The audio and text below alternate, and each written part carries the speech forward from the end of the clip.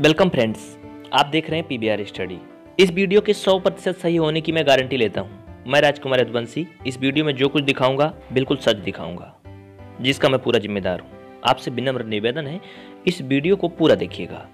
अभी हाल ही में चकबंदी लेखपाल की भर्ती आई है। आपने देखा होगा, और इसके बारे में बहुत सारी जानकारियाँ सोशल मीडिया पर वायरल हो रही हैं। पूर्व सरकार पर जातिवाद और परिवारवाद का ठीकरा फोड़ने वाली ये वर्तमान सरकार, आप इनके काम और करतूत दोनों सामने देख सकते हैं। अगर इस वीडियो को कोई भक्त देख रहे हैं तो उनसे हमारी विनम्र निवेदन है, वो इसको ना देखें। अगर देखें तो दिल थाम कर देखें। और अगर जो कमेंट करें, उसको सोच समझ कर करें, अन्यथा उसका परिणाम आप लोग खुद समझ सकते हैं। ठीक ना? तो चलिए आगे देखते हैं। अभी हाल ही में चकबंदी लेखपाल की भर्ती आई है, जिसमें टोटल तेरह पोस्ट हैं। ये बिल्कुल सही पोस्ट है जो आप देख रहे हैं। कुछ लोग सोच रहे होंगे, फेक है? तो मैं अभी उनको दिखाऊँगा इसको ऑनलाइन। ये आपकी अधीनस्थ चयन आयोग जो है, इसकी वेबसाइट खोल करके मैं आपको भी दिखाऊँगा, पूरा देखिएगा। जिसमें सवर्णों के लिए, यानी कि जनरल कास्ट के लिए एक हज़ार दो पद हैं। अब आप सोच सकते हैं, तेरह सौ चौसठ में हज़ार प्लस जो है, जनरल के लिए है।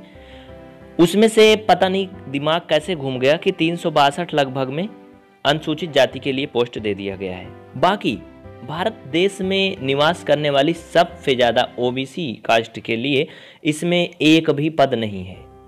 सबका साथ, सबका विकास। जी हाँ बिल्कुल, इसका बिल्कुल आप सच्चा जीता जागता उदाहरण यहाँ पे देख सकते हैं, लेकिन इस वैकेंसी को करवा लें पूरा, इतनी औकात नहीं।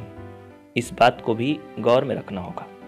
और ये वैकेंसी जल्द ही जल्द कैंसिल हो जाएगी, ये पूरी उम्मीद है। आप यहाँ पर सब कुछ देख सकते हैं डिटेल में यहाँ पे दिख रहा है। अगर किसी को कोई कन्फ्यूज़न हो रहा है तो वो हमसे डायरेक्ट कांटेक्ट कर सकता है। हम उनको बिल्कुल क्लियर करवा सकते हैं। अब सवाल ये उठता है, आज के युवाओं का अगर उन्होंने आवेदन कर दिया था तो जो इसमें आवेदन शुल्क लगा, क्या सरकार वापस करेगी? अगर ये भर्ती रद्द होती है तो क्या वो शुल्क वापस होगा? इस आवेदन को करने के लिए जो टाइम बर्बाद किया स्टूडेंट ने अपना पढ़ाई से निकाल करके क्या वो सरकार वापस देगी? अगर सरकार किसी अपने अधिकारी या फिर किसी मैनेजमेंट पर दोष लगाती है तो उसका जिम्मेदार कौन होता है? क्या बिना सरकार की अनुमति के ये पोस्ट निकला? या फिर ये जो निर्णय लिया गया, क्या सरकार को नहीं पता था? सोशल मीडिया के साथ साथ न्यूज़पेपर में भी ये सारी डिटेल छपने लगी है। अब आप लोग खुद ही अपने विचारों को कमेंट कर सकते हैं कि आप क्या कहना चाहते हैं।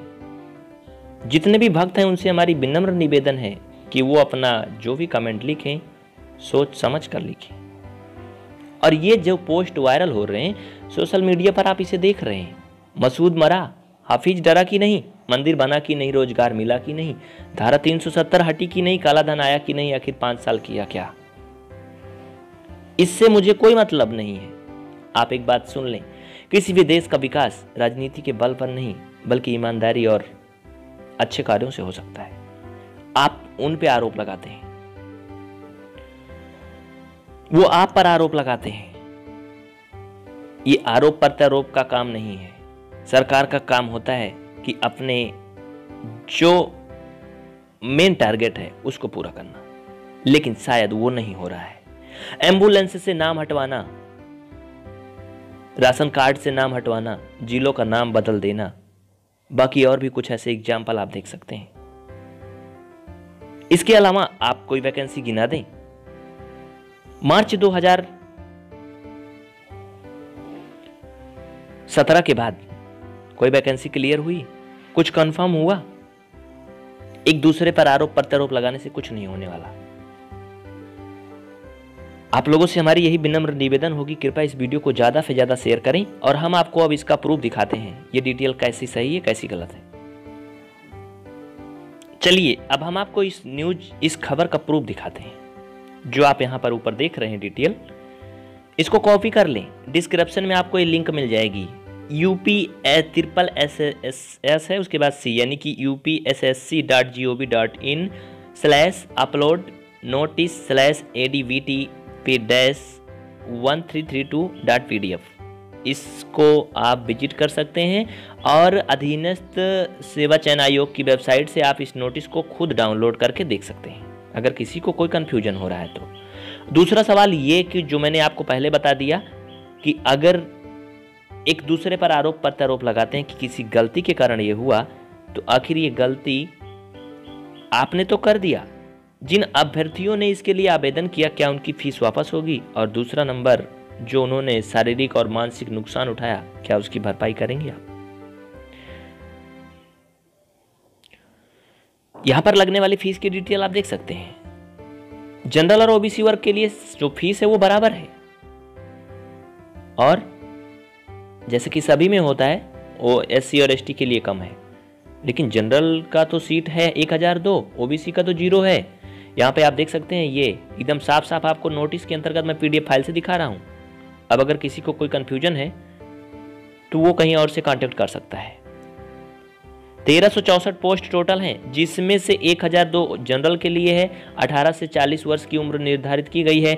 अनुसूचित जनजाति के लिए कोई भी पोस्ट नहीं है, पिछड़ा वर्ग के लिए यानी कि ओबीसी के लिए कोई कोई भी पोस्ट नहीं है। आपको पता होना चाहिए कि पूरे भारतवर्ष में निवास करने वाली जनसंख्या में से सबसे ज़्यादा जनसंख्या ओबीसी की होती है, क्योंकि आपने देखा होगा ओबीसी में बहुत सी कॉस्ट शामिल होती हैं। तो ये किसी एक जाति की बात नहीं हो रही है, जो लोग यादव जाति पर विशेष प्रत्यारोप लगाते हैं। उनसे मैं विशेष रिक्वेस्ट करना चाहता हूँ। आप इसको आँख खोल कर देखें। और मैं किसी जाति या किसी विशेष पार्टी से संबंधित या प्रेरित कोई भी न्यूज़ या खबर आपको नहीं दिखा रहा हूँ। आपके इस चैनल पर पढ़ाई से संबंधित क्लास होती है, जिसमें पूरे भारतवर्ष से स्टूडेंट जुड़े होते हैं। वो हर एक समुदाय, हर एक जाति, कॉस्ट और हर एक पार्टी से होते हैं। तो हमारा किसी से कोई नफरत या किसी से कोई विशेष प्रेम नहीं है। बस आप लोगों को जो दिखा रहे हैं, वो सच दिखा रहे हैं। इससे संबंधित बहुत सारी रिक्वेस्ट हमारे पास ओबीसी जो कास्ट से बिलोंग करते हैं स्टूडेंट की आ रही थी कि इसके बारे में कोई वीडियो बनाया जाए। ये ऐसे क्यों हो रहा है? लोग मुझसे सवाल करते थे। ऐसा क्यों किया जा रहा है? हम लोग कैसे आवेदन कर सकते हैं? तो मैं यही पूछना चाहता हूँ आप लोगों से, क्योंकि इसमें बहुत सारे भक्त भी जुड़े होंगे। आप लोग इस वीडियो को ज़्यादा से ज़्यादा शेयर करें। हमारी आपसे कोई नफरत या फिर कोई हमारी आपसे प्रॉब्लम नहीं है। बस सवाल ये सरकार से है। अगर आप अच्छे हैं तो आप दूसरे पर आरोप लगा सकते हैं। लेकिन अगर अगला कुछ गलत कर रहा है आप भी वैसे कर रहे हैं तो आप में उसमें क्या अंतर है? पिछली सरकार पर भारी आरोप प्रत्यारोप अब तक लगे। सीबीआई जाँच से लेकर के सीएम आवास तक गंगा जल से धुला गया। लेकिन उसका परिणाम क्या हुआ? हो तो वही सब रहा है। अनिल यादव को लोक सेवा आयोग से हटा दिया गया। क्या उसके बाद धांधली नहीं हुई? क्या उसके बाद एसएससी का पेपर नहीं लीक हुआ? क्या उसके बाद कोई गलत काम नहीं हुआ? जवाब है आपके पास। इस वीडियो को ज़्यादा से ज़्यादा शेयर करें। बस आज के इस वीडियो में इतना ही।